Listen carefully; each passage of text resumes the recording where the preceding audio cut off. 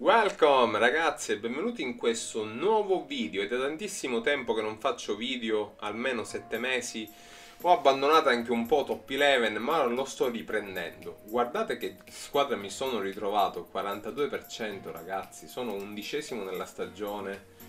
E praticamente non mi resta che fare quello che vi feci vedere una volta nel mio vecchio video, magari vi lascio in sovraimpressione non dovrò fare altro che praticamente retrocedere e provare a ricostruire la prossima stagione la squadra. Magari poi farò un video per farvi vedere un po' i miei movimenti. Vediamo un po' la formazione che ho messo, ovviamente è una formazione per perdere tutte le partite, quindi un attaccante in difesa, ho cambiato un po' di tutto, non ci resta che retrocedere e poi intervenire all'ultima stagione. Farò un video su questo. Oggi però vi parlerò di come possiamo fare una formazione abbastanza offensiva. Oggi vedremo il 3-4-3 ragazzi. Approfittiamo di questo momento di stallo, visto che devo attendere la fine della stagione, per mostrarvi una nuova formazione. Questo è un 3-4-3, che poi sarebbe un 3-1-3-2-1. Praticamente sono tre difensori, un DMC, poi un MR e un ML, che ovviamente non fate caso ho schierato un difensore, poi una MC e poi una MR e una ML per finire con un attaccante.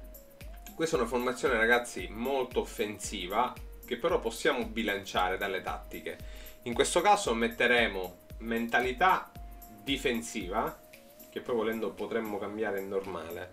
Obiettivo passaggi entrambe le fasce.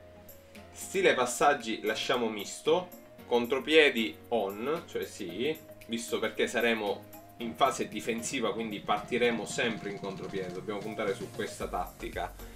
Pressing basso, perché ovviamente avendo tre difensori non dobbiamo farci cogliere, diciamo, noi in contropiede, quindi mettiamo pressing basso.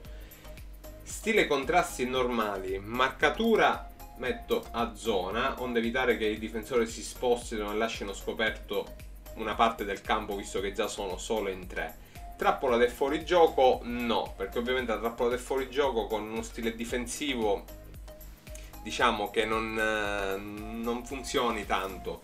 Se proprio la vogliamo usare la trappola del fuorigioco e quindi dovremmo mettere sì, ovviamente dobbiamo staccare i contropiedi perché ovviamente non avremo più una tattica attendista e mettere una mentalità normale oppure offensiva in modo da sfruttare diciamo questo niente poco di meno che batteria d'attacco.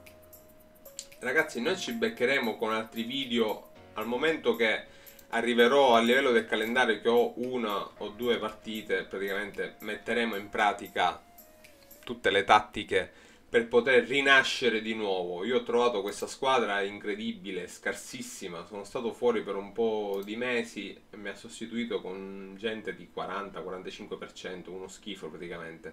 Però questa è un'ottima occasione per ricominciare e fare altri video. Alla prossima ragazzi!